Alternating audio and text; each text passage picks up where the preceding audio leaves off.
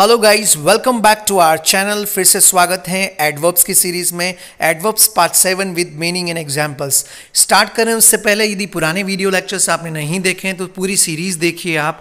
और टेक्निक्स ये हैं कि हम इन एडवर्ब्स के मीनिंग समझाते हैं हिंदी एंड इंग्लिश दोनों में, और उनके ऊपर एक एग्ज़ाम्पल देते हैं क्या, ताकि एग्ज़ाम्पल के आधार पर आप एडवर्ब्स को प्रैक्टिकल रूप से समझ पाएँ.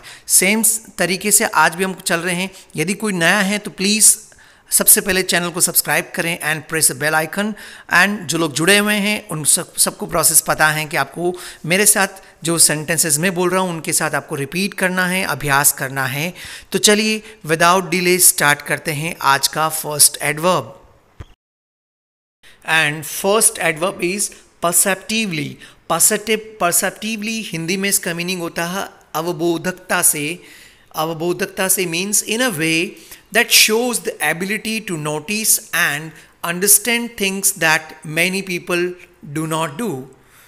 Example से समझिए She has spoken perceptively on many subjects means उसने उस वह बोल चुकी हैं अवबोधकता से कई सारे विषयों पर अब आप इसके ऊपर दूसरा सेंटेंस बना के कमेंट बॉक्स में रखें ताकि परसेप्टिवली से आप फ्रेंडली हो सकें, यह आपकी प्रैक्टिस में आ सकें।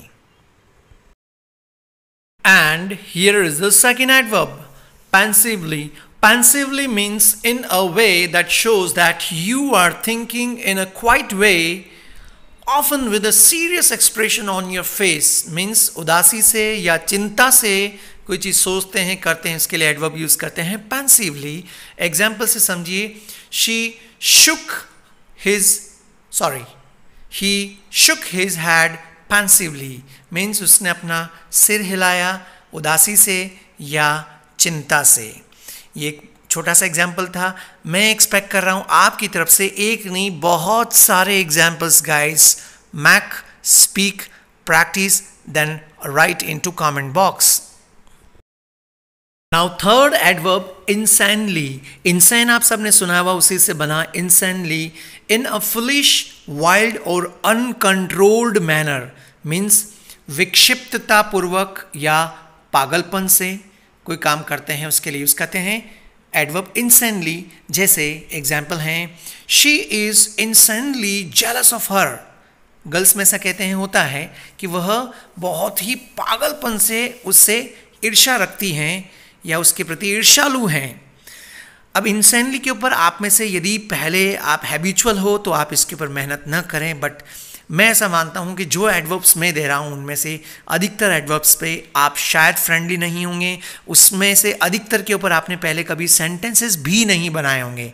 So what are you waiting for guys make your sentences and write into comment box and improve your vocabulary as well as English communication. Here is again very beautiful adverb, fourth number reverentially reverentially word reverent से बना, आप सब जानते हो जिसका meaning शायद श्रद्धा को बोलते हैं रेवरेंस है ना? रेवरेंट रेवरेंशियल और उससे एडवर्ब बना reverentially means in a way that shows a lot of respect and administration श्रद्धा भाव से एग्ज़ाम्पल से समझिए she lowered her voice reverentially means उसने अपनी आवाज़ को कम किया, नीचे किया श्रद्धा भाव से। गाइस बनाते रहें और एक लास्ट में इसके बाद जो एडवर्ब है, उसके बाद मैं आपको एक रियल टाइम केस बताऊँगा, उसको आप सुने। अभी इसके ऊपर सेंटेंस बना के कमेंट बॉक्स में रखें। Fifth adverb is intuitively intuitively means without conscious reasoning means अंतर ध्यान से। एग्ज़ाम्पल से समझे। Intuitively he knew that she was lying means अंतर ध्यान से वो जानता था या उसे पता था कि वो झूठ बोल रही थी।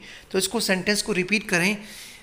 इंट्यूटिवली इसको दो पार्ट में डिवाइड करके बोलिए। Intuitively intuitively intuitively intuitively he knew that she was lying guys ये फाइव एडवर्ब्स थे मीनिंग एंड एग्जाम्पल्स के साथ। आई होप आपको अच्छा लगा होगा। अब मैं आपके साथ एक केस स्टडी शेयर कर रहा हूँ।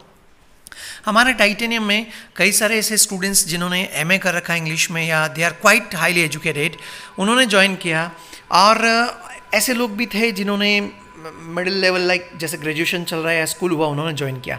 दोनों की लर्निंग में हमने एक बहुत बड़ा ह्यूज डिफरेंस पाया कि जो लोग ज़्यादा पढ़े लिखे होते हैं, वो उनको ये वहम होता है कि ये मुझे आता है आता है। ये सोच रखते हुए वो जो आता है, उसको वो कभी अप्लाई नहीं करते हैं और वो हमेशा कंप्लेन करते रहते हैं कि मैं इंग्लिश नहीं सीख पाया। और दूसरे वो लोग जो इनिशियल इनिशियल स्टेज पे होते हैं, जिनके दिमाग में ऐसा कोई वहम नहीं होता है कि मुझे कुछ आता है या आता भी है तो वो ये सोचते हैं कि नहीं यार, मुझे बोलना नहीं आता है। तो ऐसे लोग जो कम एजुकेटेड थे, उनका रेशो ज़्यादा था, क्योंकि वो रोज़ अभ्यास करते थे, हमारे सारे इंस्ट्रक्शंस को फॉलो करते थे। And they became fluent in English ये छोटी सी केस स्टडी मैं इसलिए बता रहा हूँ कि इन लेक्चर्स को देखकर भी बहुत कम लोग मीन्स मैं कहूँ कि हंड्रेड में से टेन परसेंट लोग इनके ऊपर सच में एक्शन में आते हैं, वो सेंटेंस बना के कॉमेंट बॉक्स में रखते हैं।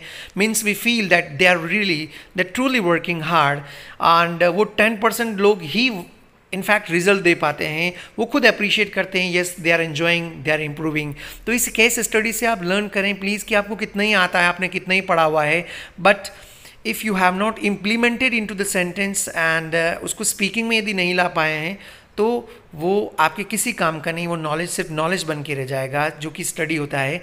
स्किल्स यदि आपको चाहिए कम्युनिकेशन स्किल्स या स्पीकिंग स्किल्स तो for that you need to speak guys because every one knows that speaking comes by speaking so guys speak these all sentences make your own examples and I hope you like our videos and if you really like then please please share this videos with your friends and hit the like button. If you don't like, also dislike it, but at least do something. Okay, enough. See you in the next lecture with the new content, with the new adverbs, with the new examples. Till then, keep watching, stay tuned. Thank you, and take care.